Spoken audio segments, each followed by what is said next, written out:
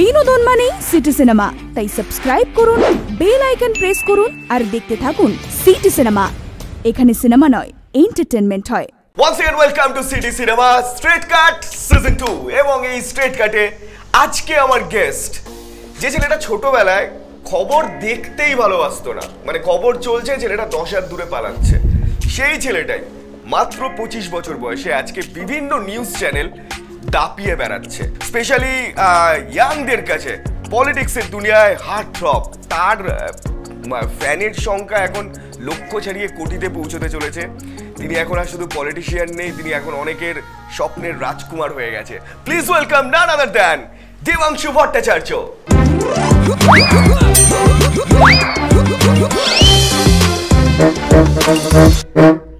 Debangshu welcome to City Cinema একদম আপনাদের সকল দর্শককে অনেক অনেক অভিনন্দন। আমরা কিন্তু আজকে পলিটিক্স নিয়ে কোনো কথা বলছি না। না একদম না। আসলে আমি আমার ঘাবড়ে। আমার ঘাবড়ে যাওয়ার কারণটা হচ্ছে তুমি যা সব ইন্ট্রোডাকশন দিয়ে শুরু করলে হ্যাঁ, সব। রাজকুমার ফাজকুমার বলে ও আমার শুনেই আমার হয়ে গেছে। যাই হোক আর কি বলো শুরু করো। আজকে তুমি কি রেডি আজকে তুমি খেলা হবে। হ্যাঁ? এই অসুস্থতায় কাহিল মন স্বাস্থ্য সাথী আপনজন দিদির ম্যাজিক দেখবে তবে নিরাময়ের খেলা হবে। প্রতি মাসে আমিও আছি তুমিও রবে বন্ধু এবার খেলা হবে। খেলা হবে আমি কিন্তু একদম খারাপ খেলি। আমি আরও ততোধিক বাজে খেলি এবং আমি লাস্ট কবে ক্রিকেটের ব্যাট ধরেছি নিজেও জানি না। ক্রিকেট না ফুটবল কি খেলো তুমি? মানে আমি খুব একটা আমি না একটু ইনডোর খেলা বেশি খেলতাম। বাইরে বেরোনো বলতে মানে খুব কম বেরোতাম আর ক্রিকেট আচ্ছা। খেলা বলতে ওই প্লাস্টিকের বলে খেলেছি আর কি ডিউজ বলে খেলা হয়নি। না বাড়িতে না বাইরে বলতে খেলতাম মানে ওরকম নয়। বন্ধু-বান্ধব কিন্তু খেলাধুলা ওই চরম খেলাধুলা ওরকম করিনি কখনো। মানে খেলা হতো না খুব কম। খেলা করাচ্ছ এখন। কম বয়সের বিয়ের দিন মুছলো এখন সেসব সিন শিক্ষা শেষেই বিয়ে হবে কন্যাশ্রীর খেলা হবে। মানে হয়ে গেছে আর কি। খেলা করাচ্ছ। দেবাংশু নর্মালি না এরকম খেলা তো ভালোই লাগে না যেখানে একটা খেলাকে কেন্দ্র করে দেশের সবচেয়ে বড় বড় খেলোয়াড়রা আসবেন এবং ঘরের মাঠে আমার পাড়ার মাঠে এসে দেখব তারা সব মানে ভুলভাল শট মারতে গিয়ে আউট হয়ে যাচ্ছেন এর চেয়ে বড় তৃপ্তি আর কি ছোটবেলা সমস্ত না খেলতে পারার যে ব্যথা বেদনা সব উড়ে গেছে। দেবাংশু কথায় কথায় তুমি পলিটিক্স কেন টেনে আনো? আজকে তো পলিটিক্সের দিন না। না পলিটিক্সের দিন নয় তো। আজকে তো। কিন্তু শুরুটাই করলে আমার রাজনীতিবিদ পরিচয় দিয়ে।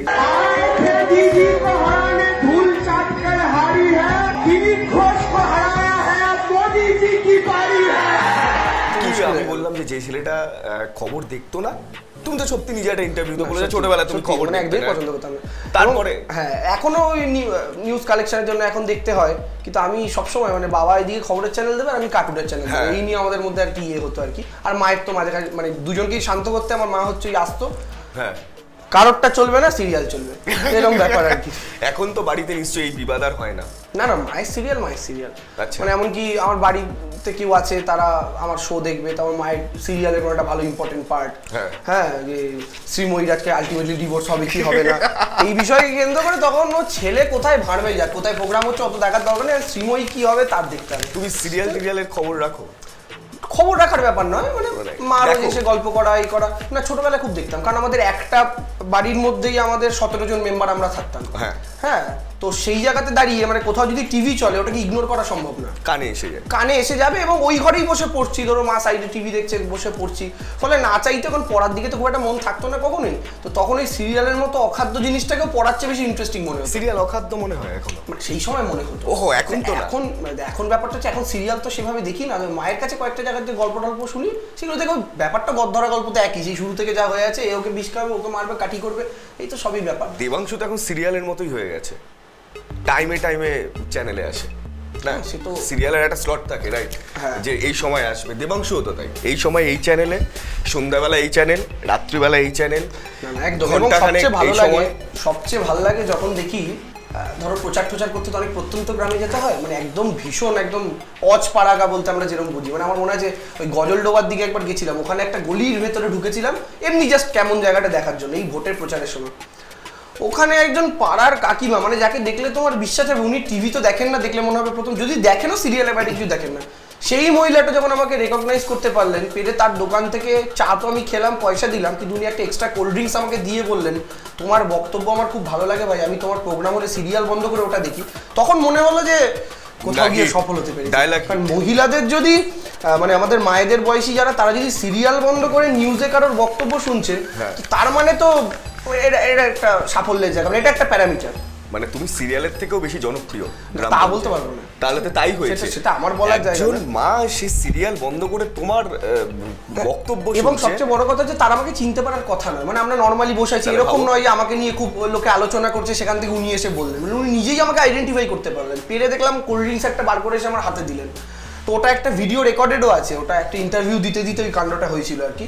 তো ফলে ওগুলো শোনার পর একটু আনন্দ পাওয়া যায় মনে রাইট এই প্রচার ছাড়া আর কখনো গ্রামগঞ্জে যাওয়া হয়েছে? হ্যাঁ যাও আমার গ্রাম ঘুরতে খুব ভালো লাগে। আমার মাসির বাড়িও এক মাসির বাড়িও একদম নদীয়ার একদম ভেতরে একটা গ্রামে। বছরে কবার যাও?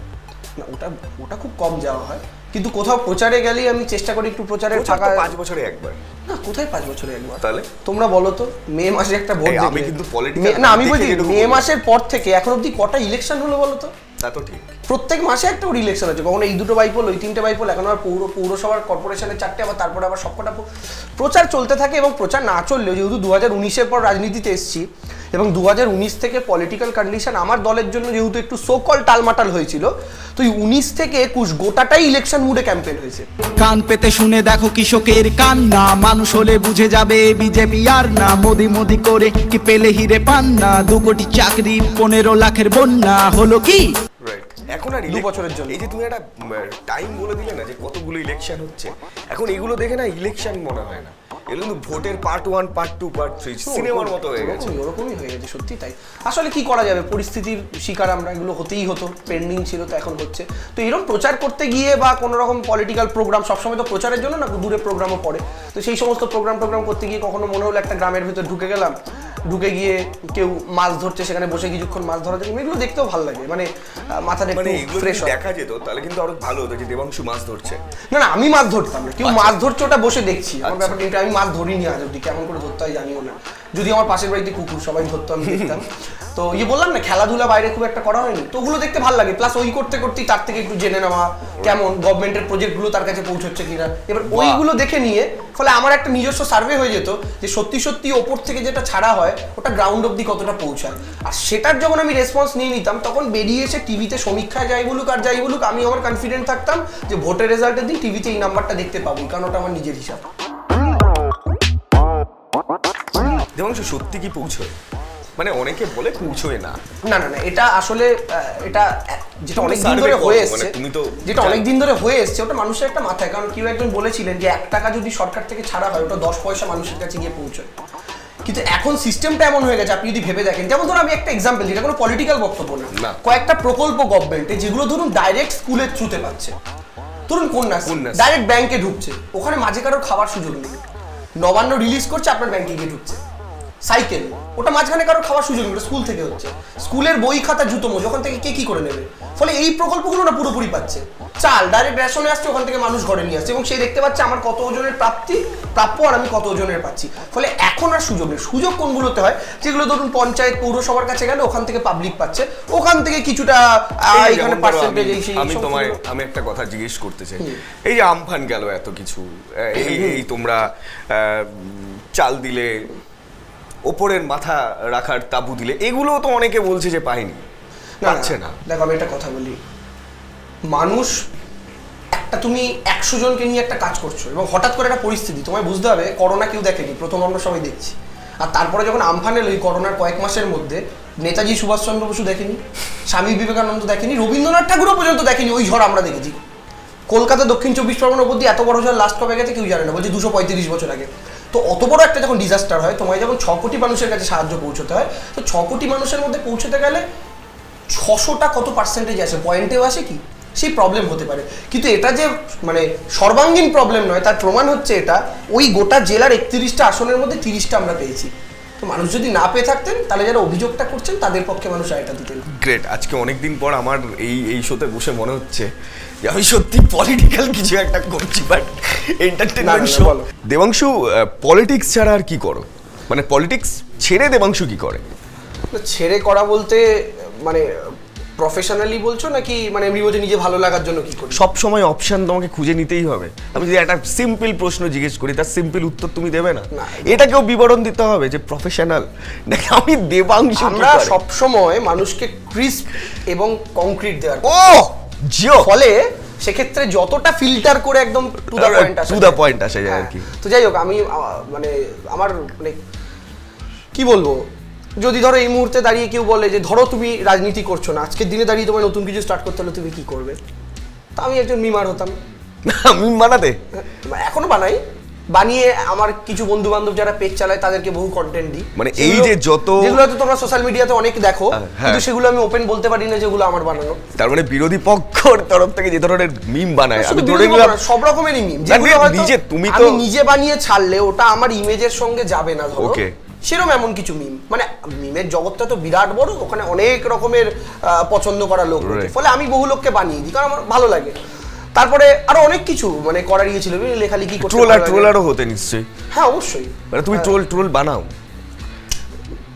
হয়। পলিটিক্সের ময়দানে থেকে যেইটুকু অফিসিয়ালি আমার পক্ষে করা সম্ভব করি বাদ বাকি আমার কিছু বন্ধু বান্ধব আছে তাদেরকে কন্টেন্ট দাও।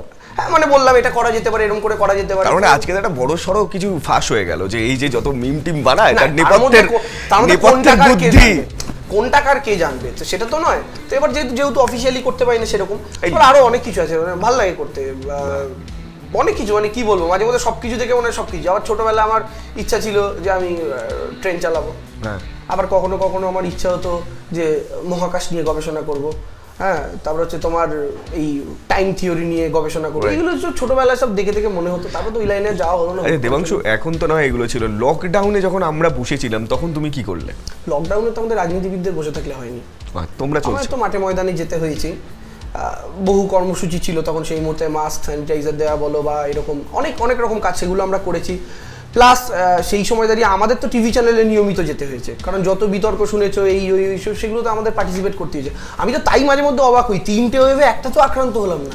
তো অদ্ভুত ব্যাপার। ফার্স্ট ওয়েভ মনে হয় যারা সার্টিফিকেট দিচ্ছিল তারা ভয় দেয়নি। এটা দেবাংশু। পজিটিভ দেওয়া যাবে না মানে এটাও হতে পারে অ্যাসিমটোমেটিক হয়েছিলাম হয়তো জানতে পারা নিজেও জানতে পারিনি।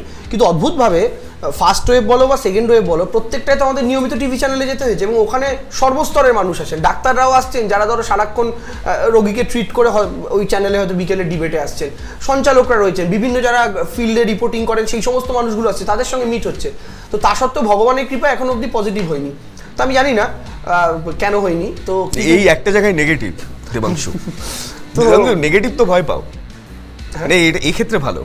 এক্ষেত্রে নেগেটিভটা সবার জন্যই ভালো। এখন সবাই বলছে বি বি নেগেটিভ সবাই সবাই বি নেগেটিভ রাইট তো সেই রকম ভাবে আর কি হয়নি। তো আমাদের করতে হয়েছে। তো ফলে লকডাউনের মধ্যে তোমরা যেভাবে কাটিয়েছো ধরো আমরা যেভাবে কাটিয়েছি মানে আমাদের খুব একটা পার্থক্য পড়েনি বরং হয়তো আরও বেশি বেরোতে হয়েছে। মানে এরকমই ব্যাপার হয়েছে আর এই যে ধুম করে তুমি পলিটিক্সে এসে গেলে লোকজন দেখতে শুরু করে দিল তুমি যেখানে থাকো সেখানে তো যারা আগে থেকে ধরে নিলাম দিদির সাপোর্টার র্যাদার পলিটিক্সের সাথে জড়িত। এই নতুন মুখ উদ্ভাব হয়ে গেল তারা কীভাবে নিল? তো তারা কীভাবে নিল বলতে কারণ দেখো যারা লড়াই করে আমি ধরে নিলাম ধরো কেউ একজন বহু বছর ধরে তুমি যাকে সাপোর্ট করো রাদার কোনো একটি দলের সেই সমর্থক সে বহু চেষ্টা করে যাচ্ছে। সামনে আসার ফ্রন্টে আসার, প্রত্যেকেই তো চায় যে সে সামনে আসবে। তো এমন একটা ছেলে যাকে কোনোদিন পার্টি পলিটিক্সে সেই হিসেবে দেখতে পাওয়া গেল না, সে দুম করে ফেসবুকে বসে বলে একদম ওপর থেকে স্টার্ট করে মানে এটা তাদের কাছে খুব ভালো লাগার জায়গা, খারাপ লাগার না। ভালো লাগার জায়গা এই কারণে তারা প্রত্যেকে এটা ভাবছে যে আমাদের যেটা আইডিয়া ছিল যে রাজনীতিতে মানে সো কল্ড সামনে আপনার তোমার কথা হ্যাঁ। অনুযায়ী যেটা সেটা হতে গেলে কারোর মামা থাকতে হয় বাবা থাকতে হয় কাকা থাকতে হয় দাদা থাকতে হয় পারিবারিক পলিটিক্যাল ব্যাকগ্রাউন্ড থাকতে হয় কিন্তু সেই সব কিছু ছাড়া একটা ছেলে যদি তেইশ বছর বয়সে এই জায়গাতে পৌঁছতে পারে পৌঁছে এখনও সেখানে সাস্টেন করতে পারে তাহলে আমরাও পারব কে আবার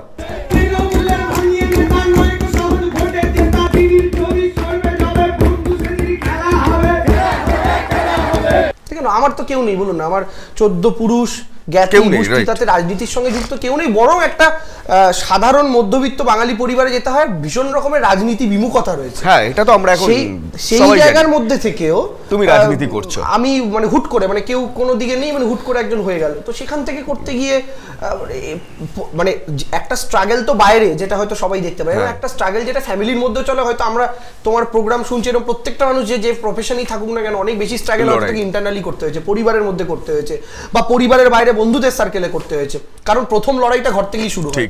সেই লড়াইটায় যারা সাকসেসফুল হতে পারে এই জন্য আমরা বলি যে ঘরের সাপোর্ট যারা এক চান্সে পেয়ে যায় তারা খুব লাকি কারণ ওটা বৃহত্তর লড়াই। ওই লড়াইটা জিতে যারা বেরোতে পারে তাদের কাছে বাইরের লড়াইটা কিন্তু খুব সহজ হয়ে যায়।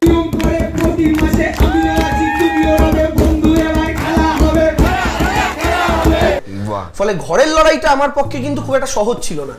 এই কারণে আমার বাইরের লড়াইটা খুব একটা কঠিন হয় গ্রেট এবং এই লড়াই করতে করতে দেবাংশু বলল, খেলা হবে। এই খেলা হবে শুনতে পেয়ে গেল করোনা তারপরে এই নাইট কারফিউ বিধিনিষেধ, সমস্ত কিছু বন্ধ হয়ে গেল। এবং বন্ধ হয়ে গেল বাজার, হাট। আমাদের প্রত্যেক দিন যাওয়ার বিষয়ে জায়গা আর কি যেখানে না গেলে আমরা খেতে পাবো না। দেবাংশু এই যে বাজার বন্ধ হয়ে যাচ্ছে মানে ধরো একটা আমাদের এখানে বেশ কিছু পপুলার বাজার রয়েছে যেখানে গিয়ে একশো টাকা দিয়ে অনেক কিছু বাজার করা যেত। নাগের বাজার হতে পারে মানিকতলা বাজার হতে পারে। সেগুলো তো এখন ডে ওয়াইজ খুলছে বিধিনিষেধের ফলে। কিন্তু এদিক দিয়ে দেখো একটা বড় বাজার বিগ বাজার রিলায়েন্স। এরা কিন্তু সারা বছর খোলা এদের কোনো বাধা নিষেধ নেই। এটা কি একটা খেলা? একদমই খেলা না দুটোর মধ্যে একটা বেসিক কারণ এটাও তো বাজার। না ঠিক এটাও বাজার। দুটোর মধ্যে একটা বেসিক তফাৎ হচ্ছে এটাই। যে একটা জায়গায় গরিবরা যায় আরেকটা জায়গায় বড় লোকরা যায়। গরিবদের বাজার মানে বন্ধ এই সিস্টেমটা বড় লোকদের বাজার খোলা। সিস্টেমটার এটাই জাস্টিফিকেশন হতো যদি রাজ্যটার নাম পশ্চিমবঙ্গ নয় গুজরাট হতো। আবার। না আমি বলছি এটা জাস্টিফিকেশন এটা নয় তার কারণটা হচ্ছে আমি আমি পশ্চিমবঙ্গে বসে না, আমি বলছি area একটা পলিটিশিয়ান যে তাকে আমি জিজ্ঞেস করছি। না একদম গুজরাট টেরো না। না আমি গুজরাট টানছি না। আমি বলছি এটা জাস্টিফিকেশন এটা হতে পারতো। যদি আচ্ছা। এটা গুজরাট হতো মানে তুমি জাস্টিফিকেশন দিলে. এবার এটা জাস্টিফিকেশন কি আমি তোমায় বলছি।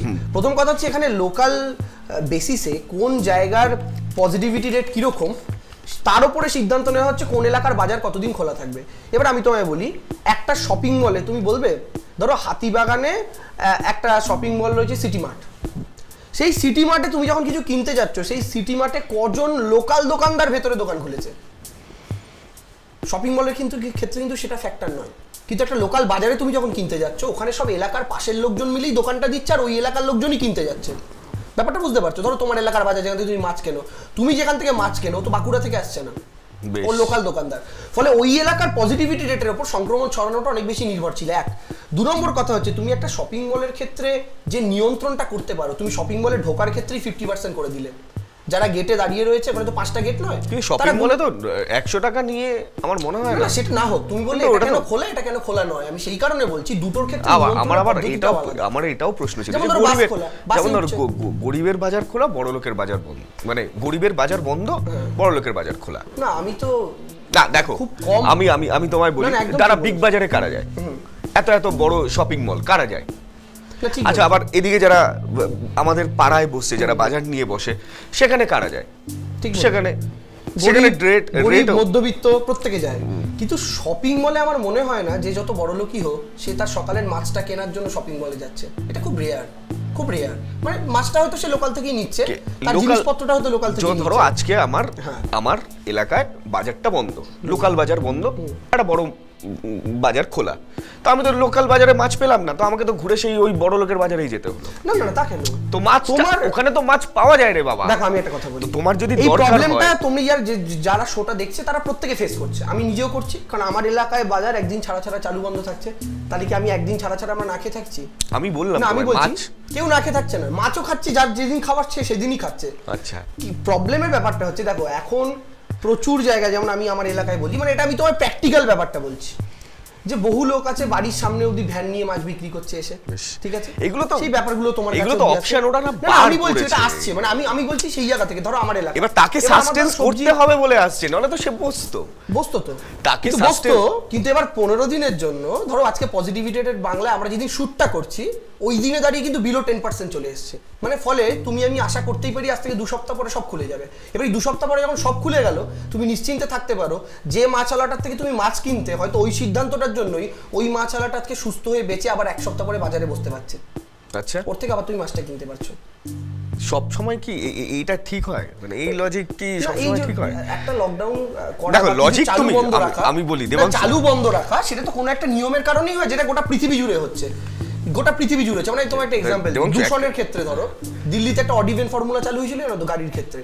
মানে যাদের অড নাম্বার প্লেট তারা এই দিন বেরোবে যারা ইভেন নাম্বার প্লেট তারা তো এটা দিয়ে কতটা চেঞ্জ হয়? আচ্ছা, সে তো আমি- কারখানার ধোয়া বেরোচ্ছে সবই হচ্ছে। আমি একটা কথা বলছি দেবাংশু। ধরো তোমাকে আমি কেন? আমার থেকেও যারা বড় মাপের জার্নালিস্ট রয়েছে যারা তোমায় প্রশ্ন করে তুমি সবসময় একটা যুক্তি দাও। যুক্তি তুমি দাও। দেখো হ্যাঁ না ঠিক না, আমি তোমায় বলি বলি একটা তুমি লজিক দাও। ঠিক আছে?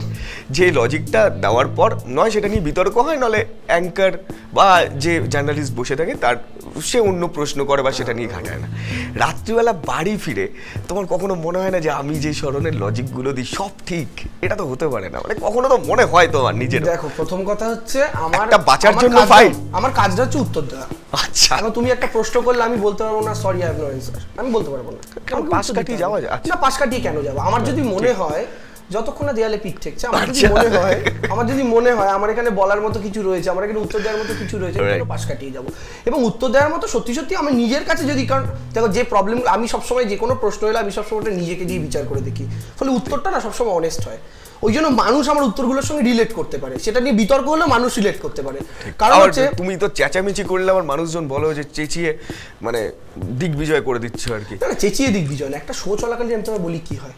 ধরো বিজ্ঞাপনে সবার সাথে খুব ভালো কথাবার্তা হচ্ছে, এ হচ্ছে। মানে যেই লাইফটা স্টার্ট হয়ে গেল ব্রেক থেকে অ্যাঙ্কার ফিরে এলেন তখনই বিরাট চেঁচামেচি। বা চেঁচামেচি বলে কি? ধর আমার একটা স্বভাব রয়েছে, কেউ ধরো বলছে দূরে, বা পাশে বসে আছে, বলছে। আমি কখনো কারোর সময় বলি না। আমি তার পয়েন্টটা কাগজে লিখে রাখি। এবার আমি বলার সময় সে যখন বলে, আমার মাথা গরম হয়ে যায়। আচ্ছা। এখন আমার কথা হচ্ছে ভাই আমি তোমার সময় বলি না সবচেয়ে বড় কথা পাবলিক তো কলতলার ঝগড়া দেখার জন্য করে না। কলতলার ঝগড়া দেখার জন্য সে জানলা খুলবে। সে জানলা খুলবে দেখবে তার কলতলার পাশে কি হচ্ছে। সে টিভি চ্যানেল কেন দেখবে? টিভি চ্যানেল দেখে মানুষ একটা ডিবেট কখন শুনবে তুমি? যখন তুমি একটা ইস্যু শুনলে তুমি কনফিউজড এই ইস্যুটার ঠিক আমাকে কনক্লুশনে পৌঁছতে হবে। ওই- কনক্লুশনে পৌঁছানোর জন্য তুমি ডিবেটটা চালাচ্ছ। যে এই ডিবেটে দুপক্ষ লড়াই করছে এর যুক্তিটা শুনে আমার মনে হলো না ঠিক বলছে এটা ভুল। এবার তুমি যদি ডিবেটটা শুনতেই না পাও সারাক্ষণ চেঁচামেচি হলো চিৎকার হলো এ ওর মাঝে ঢুকে গেল তাই তো ওকে বলল আমি তোর আচ্ছা, বাবা। সেটাই তো হয়। ওকে বলল তুই কেন দরজায় শুয়ে পড়িস? এইগুলো বলতে বলতেই হয়ে গেল। দেবাংশ সেটাই তো হয়। তুমি তো বলো। তুমি বলো তুমি তুমি অ্যাজ এ অডিয়েন্স সেটাই তো হয়। অধিকাংশ ক্ষেত্রে হয়। তোমার শো দেখে তোমার কখনো মনে হয় না এগুলো কি হচ্ছে? মনে হয় তো কিন্তু এই যে বললাম যে আমি আমার তরফ থেকে কি যে বললে এক হাতে তালি বাজে না? না আমি আমার তরফ থেকে আপনি একা পৃথিবী বদলাতে পারবেন? মানে আমার শুনে মনে হয় বিবেকানন্দ যে একা পৃথিবী বদলাতে চলেছি। তা তো নয়। কিন্তু আমি আমার তরফ থেকে এটা বজায় রাখার চেষ্টা করি। এখন উল্টো দিকের কেউ যদি বজায় না রাখে তাদের বিচারটা পাবলিক করবে? রাইট সম্প্রতি প্রধানমন্ত্রীর একটা ভাষণ খুব ভাইরাল হয়েছে জানো তো? যে বেটি পটাও। হ্যাঁ।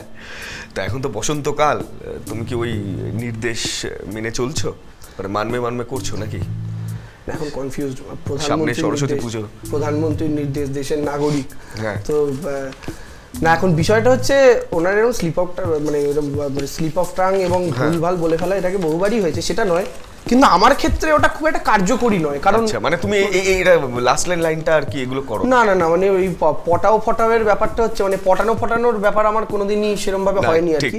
হ্যাঁ মানে কোনোদিনই বলতে কি আমি এখনও এবং এর আগেও মানে এর আগে তো আরও মানে ভীষণভাবে আর কি সাই ছিলাম। আমি তোমায় বলেও ছিলাম এর আগে যখন হ্যাঁ। আলোচনা হচ্ছিল আমি খুব কম কথা বলতাম আগে তো এখন অনেকে দেখে অবাক হয়ে যায় এখন এত কথা বলিস কি করে।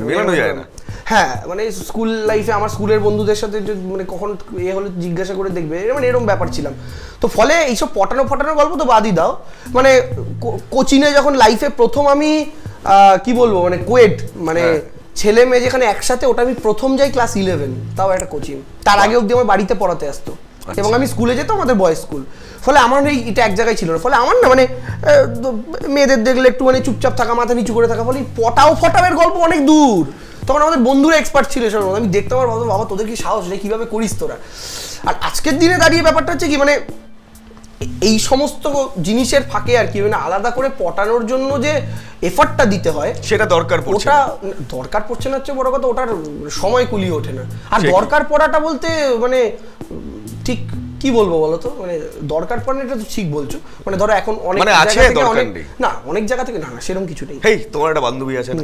এই আর কি করো। সত্যি নেই। আবার সেই ইঞ্জিনিয়ারিং কলেজের বান্ধবীটা আমার ইঞ্জিনিয়ারিং কলেজে কোনো বান্ধবীই ছিল। আবার না সত্যিই ছিল এই আমি আবার বলছি তোমার একটু ভেবে বলো না, একদম। আমি একটা আরে mic এক সেকেন্ড আমার- এক সেকেন্ড তোমার একটা ইন্টারভিউ হচ্ছে কাকিমাকে সাথে নিয়ে। কাকিমা বলছে হ্যাঁ একটা বান্ধবী ওর এখন না না ওটা ইঞ্জিনিয়ারিং আরে মাকে প্রশ্নটা এভাবে থ্রো করা হয়েছিল যে ওর মেয়ে বন্ধু কত? আমার মা বলছে মেয়ে বন্ধুর সংখ্যা খুবই কম রেয়ার আমার এমনি বন্ধুর সংখ্যাই হাতে গোনা। হ্যাঁ। মানে আমার ক্লাসমেট বা কলিগ হয়তো হতে পারে মোটামুটি বন্ধুটা সবার জন্য নয়? বন্ধুটা খুব বাছা লোক হতে পারে। তো সেই রকম তাদের মধ্যে আমার কলেজের একজন বন্ধু এবং ঘটনাচক্রে তার লিঙ্গটা হচ্ছে মানে সে নারী এবং সে আমার বন্ধুর মধ্যে রয়েছে। আমার মা সেটাই বলতে গেছে ওর মেয়ে বন্ধু খুবই কম ওই একটা কলেজের বন্ধু রয়েছে একটা রাজনীতির সূত্রে বন্ধুত্ব হয় একটা বন্ধু রয়েছে এবং হাতে গোনা তিন চারজন হয়তো যারা মেয়ে বন্ধু। ফলে এটা বান্ধবীর জায়গা একদমই নয়। ভাই একটা কথা জিজ্ঞেস করি। বলো। স্যান্ডি কি বন্ধু? হ্যাঁ স্যান্ডি মানে কন্টেন্ট ক্রিয়েশনের জগতে আমার বন্ধু। তোমার বন্ধু ভালো বন্ধু। পরিচয় তিন চার বছর আগে না আমি মাঝে মাঝে দেখি তুমি ফুচকা টুচকা খাও। হ্যাঁ হ্যাঁ হ্যাঁ, ওই রকমই বন্ধু আর কি। বিরিয়ানি ফুচকা সবই তো খাওয়া হয়। মানে ওই রকম বন্ধু আবার কি? তাহলে তো ভালো বন্ধু। হ্যাঁ মানে ওটাই বলছি ভালো বন্ধুই মানে ধরো দু তিন বছর আগেই প্রথম পরিচয় মানে এমন নয় বহুদিন ধরে পরিচয় মানে আমিও সোশ্যাল মিডিয়াতে ইয়ে হওয়ার পর কিন্তু আমার সাথে তো এদের মানে এদের জগৎটা পুরো আলাদা মানে এরা কন্টেন্ট ক্রিয়েশন বলতে এদের নিউট্রাল একটা বেস রয়েছে কিন্তু আমার একটা পলিটিক্যাল বেস ফলে দুটো সম্পূর্ণ আলাদা যদিও আমিও কন্টেন্ট ক্রিয়েটার কিন্তু এদের মতো তো নই। সেই জায়গা থেকেও যাদের সঙ্গে সম্পর্ক আছে আর কিন্তু তার মধ্যে ও একজন তার খেলা হবে এখন তো পপুলার মানে তুমি লিখে নতুন করে আর এটা দর্শকদের সাথে পরিচয় করানোর কিছু নেই যে খেলা হবে, প্রবর্তক, লেখক, এই সবগুলো ছাড়ো। এত সুন্দর লিখেছো। টলিউডে কবে দেখতে পাবো লিরিসিস্ট হিসেবে? মানে এটা তো আসতেই পারে, টলিউডের সাথে তো ভালো যোগাযোগ তোমার। কেউ যদি আমার অফার করে, আমি লিখে দেবো। আমার নেই। অফার করেনি এখনও কেউ? আমাকে সেভাবে এখনও কেউ হয়তো বলেনি। মানে তারা হয়তো ভাবতে পারে যে আদৌ ইন্টারেস্টেড হবে কিনা। তবে আপনাদের থ্রুতে বলছি কেউ যদি মনে করে কারণ আমার বহু জায়গায় বহু হ্যাঁ। বহু জায়গায় বহু মানে শুধু গান বলে নয় মানে এমন কিছু জায়গায় ধরুন কিছু লিরিক্স দেখে আমার মনে হয়েছে যে আমি হয়তো এটা একটু বেটার লিখতে পারতাম। মানে আমার মনে হয়েছে যে এটা আমি হয়তো একটু অন্যভাবে করতে পারতাম যেটা হয়তো পাবলিক খেত। সেরকম জায়গা থেকে মানে কেউ যদি কখনো আমি অফার করে আমি রাজি আছি লেখার মানে এত সুন্দর লেখো এত সুন্দর গান বানাও। আমি গানটা ছেড়ে দিলাম আমি এত সুন্দর লেখো। মানে এটা প্রথম কথা আমি গান বানাই না ওটা গান নয় স্লোগান। আমি এটা সব জায়গায় এই বিধিসম্মত সতর্কীকরণটা দিয়ে রাখি। কারণ আমি যদি গান গাই মানে আমি এটা পেস্ট কন্ট্রোল হিসেবে কাজ হবে। মানে কোথাও খুব পোকা হয়েছে আরশোলা হয়েছে মাকড়সা হয়েছে আমায় নিয়ে গিয়ে গান গাওয়ালে সেগুলো বেরিয়ে যাবে।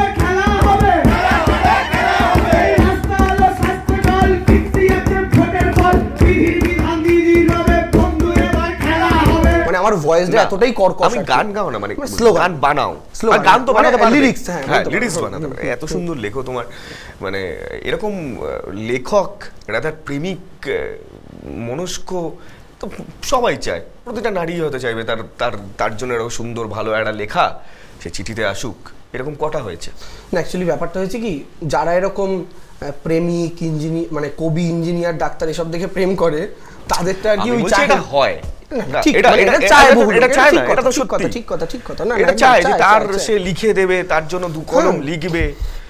আমার বক্তব্য হচ্ছে অন্য মানে আমার বক্তব্য হচ্ছে এটা যদি তার মানে প্রধান চাহিদার জায়গা ধরো হলো তখন আমি তাকে বলব যে ঠিক আছে একটা চাহিদার জায়গায় আছে। তুমি একটা জায়গায় ইন্টারভিউতে বলেছ যে বস আমার কিছু চাই না। যে আসবে সে যেন দিদির সমর্থক দিদির। তোমারও তো একটা চাহিদা। হ্যাঁ। এরকম তো হ্যাঁ, চাহিদার কথা আমি বলছি। না, একদম ঠিক। আমি বলছি যে এরকম তো হয়। মানে এরকম হয়েছে তো নিশ্চয়ই। চিঠি ফিটি দিয়েছ? চিঠি? হ্যাঁ। সত্যি আজকের যুগে চিঠি আছে? সেই যুগের কথা বলছি আমার সেই যুগ আমি কত বুড়ো গো? নিজেই পড়তে। পঁচিশ বছরের ছেলে সে আবার চিঠি চাপাটি। শোনো আমাদের যখন সো কল্ড সেই প্রেম করার বয়স মানে ওই ক্লাস টেন ইলেভেন না আমি বলছি টেন ইলেভেন যখন শুরু হয় শুরু শুরু সেই সময় দাঁড়িয়ে মোবাইলের এস এম এস ছিল। এস এম এস প্যাক ভরাতাম বলি যাদের সঙ্গে কথা হতো তাদের সঙ্গে এস কাউকে ধরো ভালো লাগতো সেই সময় তাদের সঙ্গে কথোপকথন হতো। হয়তো হয়েছে। তো তার সঙ্গে কথোপকথন হতো এস এম এস প্যাক তখন ওই বিভিন্ন কোম্পানির ছোট ছোট সরু সরু কাগজ স্ক্র্যাচ করে করে তার শেষ হয়ে গেল তাকেও ভরিয়ে দিলাম আমিও ভরে কথা বললাম। তারপরে যখন মার্কেটে হোয়াটসঅ্যাপ এলো তখন এস এম এস প্যাক হ্যাঁ, হয়ে গেল। হ্যাঁ, তো এখন হোয়াটসঅ্যাপেও সেভাবে আর কি কথা ইয়ে হয়ে ওঠে না আর কি মানে সেরকম পুরনো যাদের সাথে এক সময় হয়েছে হ্যাঁ। যোগাযোগ টোগাযোগ তারা তো এখন নিশ্চয়ই কন্ট্যাক্ট করার চেষ্টা করে। একটা বুকের ভেতর তো একটা ছোট্ট আগুন একটা ছোট্ট না করে না তা নয়। যোগাযোগও হয়তো আছে। আছে, ভাবে না থাকলেও যোগাযোগ হয়তো আছে। এই তোমরা হয়তোটা কেন যোগ্য একটা স্ট্রেট কমেন্ট হ্যাঁ আমার তাদের সাথে যোগাযোগ আছে। হয়তো যোগাযোগ আছে এই কারণেই হয়তোটা যুক্ত করলাম। কারণ হয়তো কথাটা দিয়ে এখানে বোঝাতে চাইছি খুব স্ট্রং যোগাযোগ আর আগের মতো নেই আর আচ্ছা। মানে যোগাযোগ আছে অবশ্যই আছে হ্যাঁ। কিন্তু যোগাযোগটা সে এবং হতে পারে এরকম অনেক জায়গায় রয়েছে হয়তো অনেক দিনের পরে আবার নতুন করে যোগাযোগ হয়েছে। কিন্তু বা শুধুমাত্র ওই কথোপকথনের মতো করেই যোগাযোগ আর মানে এরকম বলতে চাইছি। এখন আর সেই জায়গাটাতে এখন অন্য কেউ আছে। ইতিহাস তো সবসময় ইতিহাস। ও কি। ওকে মদন দাকে চেনো তো? আরে বাবা রে দারুণ লোক। দারুণ লোক। কেমন লাগে তোমার? হেভি লাগে। রঙিন লোক। মদন দা শুধু রঙিন লোক না কীভাবে বাঁচতে হয় এই লোকটার থেকে শেখা উচিত? এত বছর জেলের ভেতরে থেকে আটকে রাখা হলো পলিটিক্যাল কারণে। সেই মানুষটার ওপর আর এত শারীরিকভাবে তার তো সমস্যা কম নয়। বহু সমস্যার মধ্যে তিনি তার আছে। প্রচুর ওষুধ খেতে হয়, এই প্রবলেম ওই প্রবলেম তার মধ্যেও আপনি লোকটার মুখে কখনো টেনশনের ছাপ দেখেছেন? লোকটার মুখে কখনো চিন্তার ছাপ দেখেছেন? আমি সবসময় এটা মনে করি, আর এতগুলো বছর তাকে জেলের মধ্যে আটকে রাখা হলো। তার জীবনের একটা বড় স্প্যান একটা বড় পিরিয়ড নষ্ট হয়ে গেল কারাগারের পেছনে, কিছু প্রমাণ না হওয়া সত্ত্বেও। সেই মানুষটা আজকে বেরিয়ে আসার পরেও যেভাবে বাঁচছেন জীবনটা, এটা আমার মনে হয় বহু মানুষের অনুপ্রেরণা। যে ভাই, বেঁচে নাও। তুমি যে কটা দিন আছো, সে কটা দিন নিজেকে আর আমি সবসময় মনে করি আমার নিজের লাইফস্টাইলটা অন্যরকম আমি সেটাতে আনন্দ পাই। তার মানে এটা না কেউ যদি অন্য কোনো লাইফস্টাইলে আনন্দ পায় আমি সেটাতে বাধা দেবো। যার যার লাইফস্টাইল যার যার পছন্দ এক। আমি চিকেন পছন্দ করি মটন খাই না। কেউ যদি মটন পছন্দ করে আমি তাকে বলতে পারি না ভাই তুই আমার জাতের লোক এটা তো নয়. নিজের পছন্দ। তো তার লাইফস্টাইলটা তার মতন। সে সেভাবেই মানুষের কাছে পছন্দের জায়গায় এই। মদনদার সোশ্যাল মিডিয়া বন্ধ হয়ে গেছে। উনি নিজে ঘোষণা করেছেন যে তিনি আর সোশ্যাল মিডিয়ায় আসবে না কোনো একটা নির্দেশের কারণে তিনি সোশ্যাল মিডিয়ায় নেই। ধরো মদনদার মতো তোমারও সোশ্যাল মিডিয়া বন্ধ হয়ে গেল কেমন লাগবে? আমি তাহলে ব্যাপারটা ক্ল্যারিফাই করার চেষ্টা করব যেখান থেকে নির্দেশ আসবে। সোশ্যাল মিডিয়ায় কোনো বিতর্কিত বক্তব্য রাখার থেকে আমাকে ব্যান করা হচ্ছে না সোশ্যাল মিডিয়া নিজের ছবিটা ছাড়তেও ব্যান করা হচ্ছে? এটা মদনদার জন্য বিশাল বড় একটা নির্দেশ হতে চলেছে। দেবাংশুর সাজেশন হ্যাঁ বলো। না না না, এটা তো মানে আমি অবশ্যই হ্যাঁ। আমি অবশ্যই আগে এটা ক্ল্যারিফাই করার চেষ্টা করব কারণ সোশ্যাল মিডিয়া ইউজ ইউজ মানে এটা তো একটা বিরাট একটা বিরাট বড় সাবজেক্ট তার মধ্যে অনেকগুলো পার্ট আছে। কারণ সোশ্যাল মিডিয়াতে আমি কিছু বিতর্কিত লেখা লিখতে পারি। ধরো আমার কিছু ভালো লাগল না আমি লিখলাম। আমি সেই সোশ্যাল মিডিয়াতে কোনো একটা পলিটিক্যাল মন্তব্য করলাম যেটা নিয়ে বিতর্ক হলো ওটা। আবার সেই সোশ্যাল মিডিয়াতে আমি আমার দলের পক্ষে ধরো ভিডিও করছি আমার নেত্রীর পক্ষে ভিডিও করছি আমি আমার নিজের সেলফি ছাড়ছি ছবি ছাড়ছি এবার এই ক্যাটাগরি ওয়াইজ অ্যাজ হোল টোটালটা ব্যান নাকি এর মধ্যে কিছু ক্যাটাগরি আছে যেটা আমি করতে পারব না? এইটা জিজ্ঞেস করে নেওয়া উচিত। এটা জিজ্ঞেস করে নেওয়া উচিত আমার মনে হয়। বাহ ফ্যান্টাস্টিক আচ্ছা দেবাংশু যারা তোমার দল থেকে চলে গেছিল হ্যাঁ সব চলে আসছে কি দুঃখ? আচ্ছা আমি বলে আমি না আমি নাকি শুয়ে আছি। আমি বলে নিই, আমি আমি শুয়ে আছি পিঠে কোমরে হেভি ব্যথা সব এইটাই এক্স্যাক্টলি এটাই আমার প্রশ্ন যে তুমি বলেছিলে যে যারা চলে যাচ্ছে তারা যদি ফিরে আসে তাহলে তুমি শুয়ে থাকবে এবং তাদেরকে ঢুকতে দিতে বাধা দেবে। যদি সম্ভব হয় তোমাকে পাড়িয়ে চলে যাবেন তারা। দেখো মুকুল রায় হেভিওয়েট মানুষ চলে আসলো। রাজীব ব্যানার্জি যদিও উনি এখন একটু রোগা হয়ে গেছেন উনিও চলে আসছেন। এরকম আরও আরও হেভিওয়েট লোকজন সবাই পাড়িয়ে চলেছে কি ব্যথা লাগছে? না এখন বিষয়টা হচ্ছে না ব্যথা? ব্যথা বলতে মানসিক ফিজিক্যাল দুটোই। মানসিক ব্যথা। আর ফিজিক্যাল হচ্ছে এত পাড়া পড়লে ব্যথা তো হবেই। তো আমি যেটা এখন ভেবে রেখেছি একটু ভালো করে যোগব্যায়াম করব। হ্যাঁ। পিঠে একটা নরম বালিশ লাগাবো। বালিশ লাগিয়ে শোবো যেন কেউ পাড়িয়ে গেল আর ব্যথাটা না হয়। আচ্ছা মানে শোবে? কথা দিয়েছি শুয়ে তো থাকতেই হবে। যারা তোমার দল থেকে চলে গেছিল তারা তো না হয় গাদ্দার হলো। আর যারা অন্য দল থেকে তোমার দলে আসছে তারা কারা? যারা অন্য দল থেকে আমার দলে আসছে তাদের মধ্যে মানে দুটো ক্যাটাগরি রয়েছে। একটা হচ্ছে ডাইরেক্ট সেই দলের লোক আর একটা হচ্ছে আমার দল থেকে যাওয়া লোক আবার ফেরত আসছে। ডাইরেক্ট ডাইরেক্ট সেই দলের লোক। না তারা কারা? না আমি বলছি তাদের ক্ষেত্রে মানে তুমি কয়েকটা এক্সাম্পল দাও আমি তাহলে তাদের নাম বলতে পারব। তুমি ধর বাবুল সুপ্রিয় বললে। হ্যাঁ হ্যাঁ? দিলাম। তুমি সাজালে। হ্যাঁ মানে আমি আর- মাথায় একটাই নাম এলো এই মুহূর্তে ডাইরেক্ট বিজেপি থেকে এসেছে। অন্য কোনো দল না প্রথম দলই তার বিজেপি Right. তাই তো? তো বাবুল সুপ্রিয় যখন দলে এসেছে সে কিন্তু তার আগে কেন্দ্রীয় মন্ত্রী ছিল সব ছিল সেই অবস্থা থেকে সে তৃণমূল কংগ্রেসে যোগ দিয়েছে। এবার যোগ দেওয়ার তার কারণটা তুমি যদি দেখো ওই লোকটা কারণ হিসাবে বলছে যেটা আমরা প্রথম থেকে বলে এসেছিলাম যে কোনো সুস্থ স্বাভাবিক বাঙালি যার নিজের বাঙালিয়ানা সম্পর্কে বিন্দুমাত্র গর্ববোধ আছে সেই লোকটা ওই দলে থাকতে পারবে না। কারণ ওই দলে বাঙালিদের ওপর বঞ্চনা করা হয় যেটা আমি ওপেন ডিবেটেও ওনার সামনে বলেছিলাম। আজকে উনি সেটা ধরো এবার ওটা যদি তার কজ হয় কারণ হয় তাহলে আমি তাকে সেরকম বলতে পারব না। কিন্তু যারা ধরো ক্রমাগত মানে দশ কুড়ি জন মিলে সোমবার মঙ্গলবার বুধবার দলে থেকে কাজ করতে পারছি না শ্বাসকষ্ট হচ্ছে এটা অজুহাত দিয়ে সামনে নির্বাচন তুমি বিধায়ক পদে রয়েছো দল তোমার টিকিট দিয়ে যেতে হলো কিন্তু এক মাস পরে ভোট এমনি তোমার বিধায়ক পদ কদিন পর নষ্ট হবে সেই তুমি জয়েন করছ এই দুটোর মধ্যে অনেক তফাত রয়েছে। এবার কি বলতো এটা তাদেরকে কি বলবে? এটা প্রাসপেক্টিভ এটা আপেক্ষিক। আপেক্ষিক মানে মানে আমি এখান থেকে দেখতে পাচ্ছি তুমি নীল জামা পরে আছো নীল ব্যাকগ্রাউন্ডে তুমি ওখান থেকে তোমার নয়নে আমি দেখতে পাচ্ছি আমি লাল জামা পরে আছি হলুদ ব্যাকগ্রাউন্ডে তো আমাদের দৃষ্টিভঙ্গিটা আলাদা। ফলে বিজেপির দৃষ্টি থেকে যে দেখবে তার কাছে সে গদ্দার হতে পারে। আর আমি তৃণমূলের দৃষ্টিভঙ্গি থেকে দেখলে আমার কাছে গদ্দারের ডেফিনেশনটা একরকম। কিন্তু আমি মনে করি সবসময় কারা? ওয়ার্ডটা কি দেবে? তোমার দল থেকে যারা চলে গেছে তারা তো গাদ্দার। এবার যারা ওই দল থেকে এসছে তারা কারা? আমার দল থেকে যারা চলে গেছে তারা গাদ্দার এই কারণে। কারণ তারা যাওয়ার পর বলেছে দল আমায় কিছু দেয়নি। আচ্ছা বুঝলাম এবার তারা কারা তো? হ্যাঁ, যারা তারা হচ্ছে কি? তারা হচ্ছে সেই সমস্ত মানুষগুলো হ্যাঁ। যে সমস্ত মানুষগুলো শেষমেশ গিয়ে বুঝতে পেরেছে কোথায় থাকলে আমি আমার মাটির জন্য কাজটা করতে পারব। তাদেরকে আমি বলি না তাদেরকে আমি বলি অনেকটা রাস্তা ঘুরে ঘুরছিল। সুযোগ সন্ধান। অনেকটা রাস্তা ঘুরছিল ঘুরতে ঘুরতে আলটিমেটলি মন্দিরে এসে পৌঁছেছে। বলছে আমার একটু জায়গা দাও তোমার মন্দিরে বসি। আর আমরা সেই মন্দিরের পূজারি আমরা কাউকে ফেরাতে পারি তুমি সেই মন্দিরেই শুয়ে গেছো সেই মন্দিরে শুয়ে আছে কিন্তু বললাম পারিয়ে পারিয়ে ঢুকে যাচ্ছে কিন্তু এরা তো পারিয়ে ঢুকবে না কারণ এটা তো আড়াল এটা দল থেকেই আসছে. চাপ নেই। মমতা ব্যানার্জিকে তুমি একবার মা বলো একবার দিদি বলো একটা মানুষ তোমার কাছে কি করে একবার মা একবার দিদি হয়? আচ্ছা চাঁদ তুমিও মামা বলো তোমার বাবাও মামা বলতো তোমার দাদুও মামা বলতো তাহলে একজন কি করে তোমারও মামা তোমার বাবারও মামা হয়? ঠিক যেভাবে মমতা ব্যানার্জিকে সবাই দিদি বলি। একদম। বুঝতে পারলে? এটাই। চাঁদ যেমন তোমারও মামা তোমার বাবারও মামা তোমার দাদুরও মামা ঠিক আমার ক্ষেত্রেও তাই। তুমি তেমনই মমতা বন্দ্যোপাধ্যায় দিদিটা হয়ে গেছে তার একটা তার একটা মানে নামের সঙ্গে জড়িয়ে গেছে। সম্পর্কে আমি মনে করি তাকে আমার আমার মায়ের জায়গা আমি দিয়েছি। সম্পর্কে আমি আমার মায়ের জায়গা দিয়েছি। দিদিটা হয়ে গেছে তার নামের সঙ্গে জড়িত। আচ্ছা। দিদি। যেমন আমি একটা কথা বলি। তোমার দিদি আছে? হ্যাঁ আমার নিজের দিদি আছে। আচ্ছা। আমার দিদিও রয়েছে আমার মাও রয়েছে। ঠিক হ্যাঁ। আছে? আর মমতা বন্দ্যোপাধ্যায়কে দিদি নামে যেটা বাংলার সবাই ডাকে। দিদি বললে বাকি লোকদের চেনানোর জন্য। বাকি লোকদের চেনাতে গেলে যেটা বলতে হবে আমাকে। মানে ধরো আমি একটা কথা বলছি। সুভাষচন্দ্র বসু নেতাজি সুভাষচন্দ্র বসু গোটা দেশের কাছে নেতাজি। তার কোনো পরিবারের লোক যখন মঞ্চে উঠবে তখন সে নেতাজি সম্বোধন করবে কারণ সে জানে গোটা দেশ তাকে নেতাজি বলে চেনে। আর সেই নেতাজির ছেলে যখন তার বাড়িতে ঘরোয়া ডিনার টেবিলে বসে আলোচনা করবে সে কিন্তু তার বাবা বলে উচ্চারণ করে কথাটা বলবে বা দাদু বলে উচ্চারণ করে কথাটা বলবে। ওটা হচ্ছে তার সাথে তার সম্পর্ক আর একটা হচ্ছে পাবলিকলি সে যে নামে পরিচিত সেটা বলে ডাকা। মমতা ব্যানার্জিকে তুমি এমনি যখন থাকো কি বলে ডাকো? দিদি পিসি মা কি বলো? সামনাসামনি ভাবে ডাকা ডাকির তো খুব একটা দরকার না। কারণ এরকম তো নয় ধরো অনেক দূরে আছে দিদি। বলে ডাকতে ওরম নয়। যখন কাছে গেলে তা কি বলে ডাকো? পিসি। না তখন ধরো দিদি বললাম বা কি মানে আমার ঠিক মনে পড়ছে না কি বলি? মা। মাটা তো সম্পর্কে এটা নিজের ভালোবাসার থেকে দেয়া না। হ্যাঁ, নিজের মায়ের মতো মনে করি তাকে। সেভাবে তোর সামনাসামনি ওভাবে কখনো ডাকা হয়নি। তবে সম্ভবত দিদি বলে রাখি। দিদি তাকে আমি মা মনে করি আমি সেটা ওকে। আচ্ছা দেবাংশী তুমি তো এখন এই জেনারেশনের ছেলে। একদম আমাদের জেনারেশনের ছেলে। তোমার বিশ্বাস হয় চপ একটা শিল্প? কেন নয়?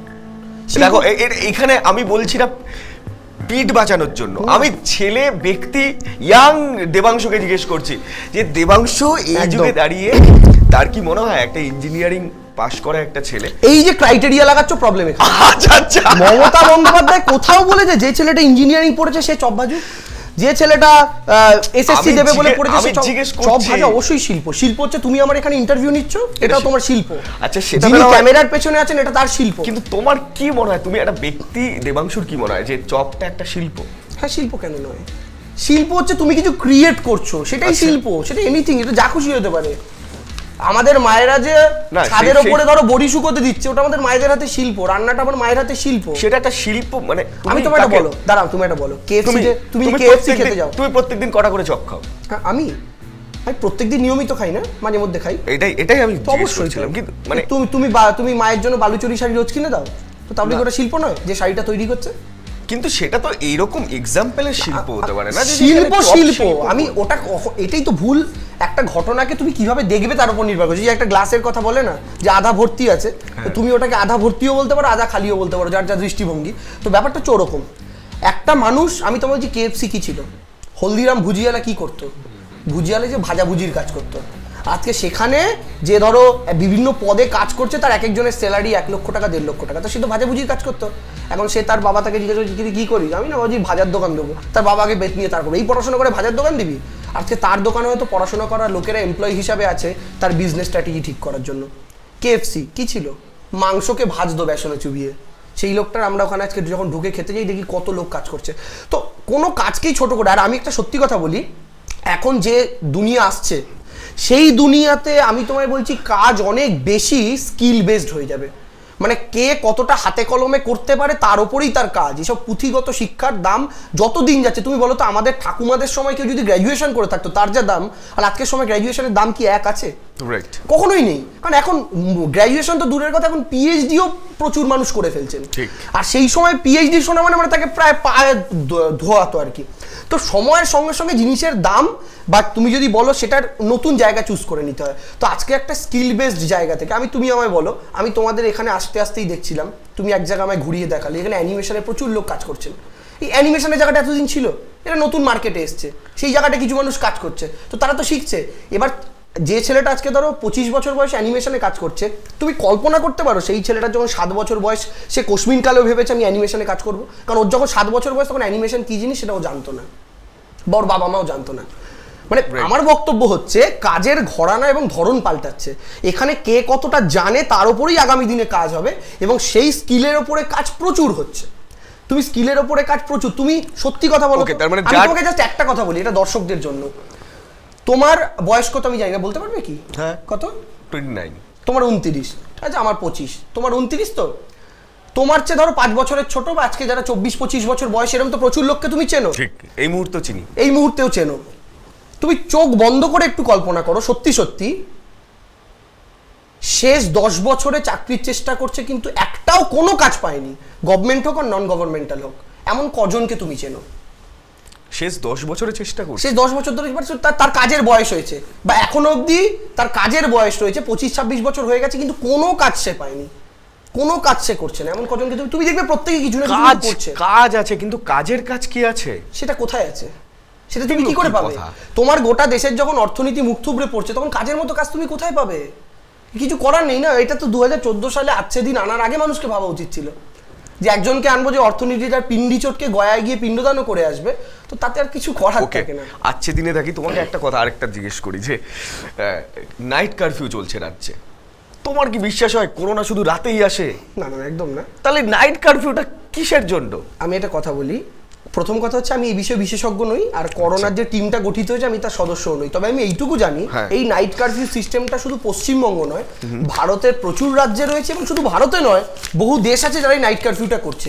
এখন এতগুলো দেশ এতগুলো রাজ্য করছে তার পেছনে যদি কোনো বৈজ্ঞানিক ভিত্তি না থাকে আমার মনে হয় না তারা এই কাজটা করবে। কারণ গভর্নমেন্টকে যারা এগুলো করার জন্য সাজেস্ট করে তারা রাজনীতিবিদ নয়। তারা এই বিষয়ে বিশেষজ্ঞ হন। ফলে তারা যখন সাজেস্ট করছে নিশ্চয়ই কিছু কারণ থাকবে হয়তো আমি জানি না। আমি সব জানব এমন তো কোনো কথা নেই। রাইট এইটা কিন্তু একটা এই এইটাই একটু- আগে বলছিলাম না যে তুমি প্রশ্ন সব লজিক দাও এটা বলতেই পারো। এইটাই আজকে এই বিষয়টা যেহেতু একটা টেকনিক্যাল ব্যাপার আমি তো স্বাস্থ্য বিশেষজ্ঞ নই বা ভাইরোলজিস্ট এমনিতে তোমার স্বাস্থ্য তো ভালোই। এই স্লিম ট্রিম কি করে রাখো নিজেকে? ওরকমই আমি খুব একটা মোটা কোনোদিনই নই আমাদের বংশের সবাই এরকম রোগা পাতলাই। হ্যাঁ। ফলে চাপ খাওয়া। দাওয়ায় ডায়েট করো নাকি না না না, আমি খেতে খুব ভালোবাসি। বা? চিকেনের যে কোনো আইটেম দু হাজার ষোলোতে যখন নোটবন্দি হলো, তখন তুমি ফেসবুক লাইভ করে এবং রিসার্চ করে তুমি মানুষকে বুঝিয়েছিলে যে এই একটা নোটবন্দি, এটা অ্যাকচুয়ালি একটা নাটক, এটার পেছনে একটা রহস্য আছে। কাট টু দু হাজার কুড়ি, এখন বসে রয়েছি দু হাজার বাইশে রাইট এখন লোকজন বলছে, করোনা একটা নাটক। কিন্তু তুমি কিছু বলছো না। করোনা একটা নাটক, সেটা যারা বলছেন, আমি আবার বলছি এটা স্বাস্থ্য বিষয়ক না হলে হয়তো আমি বলতাম কিন্তু এমন বিষয় কিন্তু যে সময় দু হাজার ষোলোতে তুমি যখন বলছো দু হাজার ষোলোতে তো তুমি কোথাও ছিলে না। তুমি নিজে থেকে একটা রিসার্চ করে তুমি একটা লোককে বোঝানোর চেষ্টা করেছ যে বস এই এই ব্যাপারটার পেছনে এই এই এইগুলো রয়েছে। কারণ আমি বিশ্বাস করি করোনা একটা নাটক নয়। আচ্ছা। অবশ্যই করোনা কারণ চোখের সামনে যে মানুষগুলোকে আমরা প্রত্যেকে যারা তোমার এই ভিডিওটা দেখছে কেউ এমন একজনও নেই যে বলতে পারবে না সে সেকেন্ড ওয়েভে তার কোনো প্রিয়জনকে হারাতে দেখেনি। আত্মীয় স্বজন চেনা পরিচিতর মধ্যে কাউকে হারাতে দেখেনি। আমরা যারা দেখেছি চোখের সামনে, আমাদের বয়সী ছেলেগুলো, তাদের কোনো কোমরবিডিটি নেই, কিচ্ছু নেই। মানে তরপাতে তরপাতে শ্বাসকষ্টে মারা গেল চোখের সামনে, তারপর আমি ভাইরাসটাকে নাটক বলতে পারব না, দাদা। আমি চোখের সামনে দেখেছি হ্যাঁ। এবার এটাকে কেন্দ্র করে গোটা পৃথিবী জুড়ে এই যে ভ্যাকসিনেশন ভ্যাকসিনেশন চলল হ্যাঁ। এর কার্যকারিতা কতটা? আদৌ সেটা কি আদৌ ভ্যাকসিন দেওয়া হয়েছিল নাকি ইমিউনিটি বুস্টার দেওয়া হয়েছিল না কি? এগুলো নিয়ে পরবর্তীকালে গবেষণা হলো। আমি এই টেকনিক্যাল জায়গার লোকই নই। এবং সবচেয়ে বড় কথা হচ্ছে এই বিষয়ে তোমায় কিছু বক্তব্য রাখতে হলে তোমাকেই এই ভাইরোলজি বিষয়ে জ্ঞানটা রাখতে হবে। কারণ এই ভাইরাসের চরিত্র কি না কি? আর আমি যখন যে বিষয়টায় বলেছিলাম ওই বিষয়টা একটা পলিটিক্যাল বিষয় ছিল যেটা আমার ইন্টারেস্টের সাবজেক্ট ছিল। ফলে দুটো সম্পূর্ণ আলাদা। কোনোটা না। না কোনোটা আমার ইন্টারেস্টে জায়গা না। আমার খালি কাজ হচ্ছে ভাই কেউ কিছু নির্দেশ দিলে সেটা ফলো করার চেষ্টা করব। আচ্ছা। আর যেমন আমি তোমার একটা কথা বলি আমার সামান্য বুদ্ধিতে যখন প্রথম করোনার ওয়েভ আসে তুমি মনে করে দেখো প্রথম প্রথম হু তো প্রচুরবার কথা চেঞ্জ করেছে। হু এতবার পাল্টি খেয়েছে রুদ্রনীল ঘোষও খায়নি। হ্যাঁ? তো এখন এই যে হু রুদ্রদা কিছু মনে করবেন না। একটা কথা বারবার বলা হচ্ছিল করোনা তিনটে গেট দিয়ে ঢোকে নাক মুখ চোখ। বারবার আমাদের স্বাস্থ্য বিশেষজ্ঞরা বলেছেন মাস্ক পরুন করোনা ঢুকবে না। আমার বাবা বাইরের স্টেটে কাজ করেন। তো আমার বাবাকে আমি একটা কথা প্রথমেই বললাম কেউ বলার আগে বাবা তুমি একটা কাজ করো। এটা এরা কেউ বলছে না কেন জানি এটা আমার মনে হয়। কারণ এরা প্রত্যেকে বলছে নাক দিয়ে মুখ দিয়ে করোনা ঢোকে চোখ দিয়েও করোনা ঢোকে কিন্তু সবাই শুধু নাক মুখ ঢাকতে বলছে কেউ চোখ ঢাকতে বলছে না। তার মানে কি যাদের চশমা নেই তাদের করোনা হওয়ার চান্স বেশি? কারণ চোখ দিয়ে তো করোনা ঢোকে। তুমি চশমা পরছো না তুমি মাস্ক পরে রয়েছো। আমি তোমার সামনে হ্যা- হাঁচি করলাম একটা। আর আমার যে ইয়ে ড্রপলেট সেটা ছিটকে তোমার নাকে মুখে ঢুকতে পারল না মাস্কের জন্য চোখে ঢুকে গেলো। করোনা হয়ে গেল তো? তাহলে তো ওদের বলা উচিত ছিল যে প্রত্যেকে যাদের চশমা নেই তারা একটা আই গার্ডও লাগান। উইদাউট পাওয়ার হতে পারে। তো আমি আমার বাবাকে সেই সময় বললাম আমার বাবার যেহেতু প্রায় সেভেন্টির কাছাকাছি এজ সেই সময়। আমি বাবা বললাম বাবা তুমি মাস্ক পরছো পরো একটা সুইমিং ক্লাস কেনো যেগুলো টাইট হয়। তুমি ওটা পরে কাজ করো ওখানে ঠিক আছে? বিশ্বাস করবে না? প্রায় আঠাশ উনত্রিশ দিন পর খবর পেলাম বাবাদের অফিসের hundred percent positive. Hundred percent মানে হচ্ছে প্রতিটা কর্মচারী প্রতিটা কাজের জায়গার লোক প্রতিটা যারা স্টাফ প্রত্যেকে মানে একজনও বাদ নয় মালিক টু সব। একমাত্র নেগেটিভ আমার বাবা। বাহ। একমাত্র নেগেটিভ আমার বাবা। তো এইগুলো যে ছোট ছোট ব্যাপারগুলো নিজের আমার মনে হয়েছে আমি আমার পরিবারের আত্মীয় স্বজন যে চশমা কোনোদিন নেয়ও নি তাকে আমি বললাম ভাই তুই একটা ফ্রেম কিনে হলো শুধু চোখে লাগিয়ে রাখ। কারণ তুই তো নাক মুখ ঢাকছিস তো চোখ দিয়ে যদি ড্রপলেট ঢোকে তাহলে ওটা আটকাবে কে? তো এটা করে আমি অনেক লোককে করোনার হাত থেকে দেখলাম যে তারা এখন অবধি পজিটিভ হয়নি যাদেরকে সাজেশনগুলো দিয়েছি. তো এগুলো আমার নিজের মতো কিন্তু এটা কি আমি যদি ওপেন বলি লাইভে এসে আজকে ফেসবুকে বলি যে এটা আপনারা করুন তাহলে লোকে বলবে ভাই তুমি কি ভাইরালজিস্ট তুমি এটা বলতে যাচ্ছ। কিন্তু আমার এটা নিজের মনে হয়েছে আমি করেছি কারণ এক্সট্রা চশমা পড়লে তো কারোর ক্ষতি নেই। ঠিক। ফলে ওটা পরে যদি রক্ষা পাওয়া যায়। বাহ। এই দেবাংশু মিম টিমের কথা হচ্ছিল এই আমাদের মুখ্যমন্ত্রীকে নিয়ে প্রচুর মিম হয় প্রচুর ট্রোল হয়। তোমার কাছেও আসে সেগুলো। কেমন লাগে তোমার? ভালো লাগে। আমার নিজেকে নিয়ে ট্রোল হলে আরও বেশি ভালো লাগে। কারণ আমি সবসময় মনে করি একজন মানুষের সাফল্যের পেছনে তার গুণমুগ্ধদের চাইতে অনেক বেশি রোল থাকে তার সমালোচকদের। মানে আমি ধরো আমি যখনই দেখি আমাকে নিয়ে কোনো একটা ট্রোল মার্কেটে ঘুরছে এবং সেই টাইমে ওটাই হিট আমি আমার পেজে গিয়ে দেখি মানে ডেলি হয়তো আমার ফলোয়ার ধরো দুশো তিনশো চারশো করে বাড়ে। সেই সময় আমার ফলোয়ার এক হাজার দেড় হাজার করে বাড়ে। বাহ মানে তুমি চাও যে হোক কেন এতে কি হয়? এটা আমার একটা পলিসি আছে। ধরো তুমি আমায় চেনো না। কুইজ দেবাংশু ভট্টাচার্য তুমি জানো না। কিন্তু তুমি তোমার ফেসবুকে এত ট্রোল হচ্ছে যেটা ধর সিপিএম বা বিজেপি করছে তুমি ওটা দেখলে তুমি বলে মালটা কে? দেবাংশু মালটা কে? বলে এত ট্রোল দেখলে তুমি হাসলে হাহা রিয়াকশনও দিলে দেখে তুমি আমার নামটা সার্চ করে আমার পেজে এলে। নামটা সার্চ করলে কে জানার জন্য? আমার পেজটা এসে তুমি ফলো করলে ভাবলে এত ট্রোল হচ্ছে নিশ্চয়ই। এবার তুমি ফলো করার পর তুমি যখন আমার ভিডিওগুলো দেখা শুরু করলে এটা এবার আমার দায়িত্ব তোমাকে আমার ভক্ত বানিয়ে নেওয়া। ও! ফলে ওরা কিন্তু ওই মার্কেটিং এজেন্টের মতো আমাকে ফলোয়ার ধরে এনে দিচ্ছে। আমি তোদের কাছে কৃতজ্ঞ। রাগ করব কেন? আরে আরেকটা কথা জিজ্ঞেস করি, একটা একদম শেষ প্রশ্ন আমার, তারপরে র্যাপিড ফায়ারে যাব। এই যে দিদি মাঝে মাঝে মাথা গরম করে ফেলেন, অনেক কিছু বলে ফেলেন, এবং স্পেশালি সরস্বতী পুজোর সময় আসলেই খালি দিদির একটা মন্ত্র নিয়ে খুব ট্রোল হয়, এবং ভুল ইংলিশ নিয়ে মাঝে মাঝে ট্রোল হয়।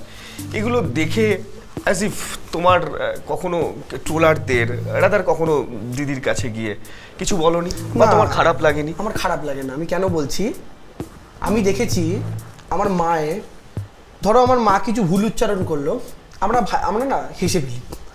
মা এটা এরকম নয় এটা আসল উচ্চারণ এরকম। প্রথম প্রথম যখন ফোন আসে সবুজটা টিপে ধরতে হয় লালটা টিপে কাটতে হয়। এটা ছিল প্রাইমারি ধারণা বা বাড়ির বড়দের বোঝানো হতো যখন কিপ্যাড ফোনগুলো ছিল। তো আমার মা ধরো ভুল করে লালটা টিপলো ধরার জন্য, আমরা হাসলাম সবাই মিলে। কিন্তু হাসার পরে আমরা জানি যে হাসলাম, এই মা তো সত্যি জানে না। সেই কারণে মায়ের প্রতি হয়তো হাসলাম। কিন্তু দুপুরবেলা যখন খিদে পাবে, এই মা গরম ভাতটা আমাকে বেড়ে দেবে। এরা যারা এই ট্রোলগুলো করে হ্যাঁ মমতা বন্দ্যোপাধ্যায় অত ভালো হিন্দি জানেন না, কারণ হিন্দি আমাদের রাষ্ট্রীয় ভাষা না এটা জানতে হবে ম্যান্ডেটরি না তিনি ভুল হিন্দি বলছেন, কোনো চাপ নেই। কিন্তু এই মানুষগুলোই হয়তো হাসছে, এরাই গিয়ে ইভিএম মেশিনে উজাড় করে মহিলাটাকে ভোট দিচ্ছে, কারণ এরা জানে আলটিমেটলি এটা আমার মা। ভুল হিন্দি বলতে পারে হয়তো এমন কিছু বলে ফেলতে পারে যেটা থেকে আমার হাসি পেতে পারে কিন্তু আমি জানি দিনের শেষে আমাকে মাথায় তেল মাখিয়ে স্নান করাবে এই মা দুপুরবেলা আমার পাতের ওপর গরম ভাতটা বেড়ে দেবে এই মা। তাই আমার কোনো চিন্তা হয় না। ভাতের সাথে আর কি? ভাত ডাল মাংস যে যেমন খেতে চাইছে। আমি তোমার কথা জিজ্ঞেস করলাম আমি ভাত বললে। যে গরম ভাতের সাথে তোমার কিছু ফেভারিট কিছু আছে নাকি? শুধু ভাত? হ্যাঁ, নিরামিষের মধ্যে হলো ডাল আলু পোস্ত। আচ্ছা। উইথ গন্ধ লেবু বাহ! যে গন্ধ লেবুটার পেছনটা একটু খুঁটলে গন্ধ ছাড়বে। বেশি পাকা হলে হবে না। আর আমিষের আমিষের মধ্যে হলে এনিথিং অ্যাবাউট চিকেন এই পাকা কথাটা বললে অনেকে তোমাকে বলে তুমি বেশি পাকা। তো বলতে পারে। কি করা যাবে? সে সে পাকতে পারেনি সঠিক টাইমে তাই তার মনে হচ্ছে। দেবংশু র্যাপিড ফায়ারে যাব। এখানে সব কিছুতে অপশন পাবে তুমি যে কোনো একটা অপশন তোমায় চয়েস করতে হবে। এবং তারপর আমার শো শেষ। পিসিনা ভাইপো। আমার পিসি ভাইপো আমি? মানে কোন পিসি ভাই আমি অপশন দিলাম র্যাপিড ফায়ার স্টার্ট পিসিনা ভাইপো। পিসি। ওকে কৃষি না শিল্প। আরে এত সময় দিলে কি করে হবে? কৃষি না শিল্প। যে কোনো একটাই চুজ করতে হবে। যে কোনো একটাই চুজ করতে হবে প্লিজ পাস করার অপশন নেই। না। আচ্ছা কৃষি না শিল্প। হ্যাঁ সত্তর শতাংশ লোক এসে কৃষি কৃষি। কৃষি ওকে। কৃষকরা শিল্পপতি। কৃষক। চপ না পকোড়া? চপ। পাঠশালা না পানশালা? পাঠশালা। গরু না কয়লা? একজন তো আমাদের নাকি মা। আর একটা দিয়ে আমাদের ইলেকট্রিসিটি চলে ঠিক আছে? আচ্ছা। গরু। গরু ওকে সারদা না নারদা? বেশ ইন্টারেস্টিং ছিল নারদা। আচ্ছা নারদা? বেশ ইন্টারেস্টিং ছিল। ওকে মানে ওটার পর একটা ইলেকশনে বিপুল জয় পেয়েছিলাম তো তাই। মুখ্যমন্ত্রী না প্রধানমন্ত্রী? মুখ্যমন্ত্রী হতে প্রধানমন্ত্রী। মুখ্যমন্ত্রী হতে প্রধানমন্ত্রী? মুখ্যমন্ত্রী টু প্রধানমন্ত্রী। ওকে দলদাস না সমালোচক? দলদাস। আচ্ছা ইস্ট বেঙ্গল না মোহনবাগান? ইস্ট বেঙ্গল কাঠ মানি না ব্ল্যাক মানি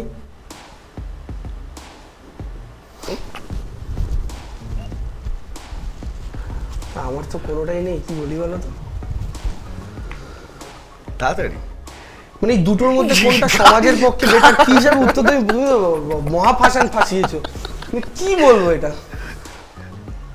আমি বুঝতে পারছি তুমি গরু কয়লা কীভাবে জিজ্ঞাসা করেছ এটাও বুঝেছি।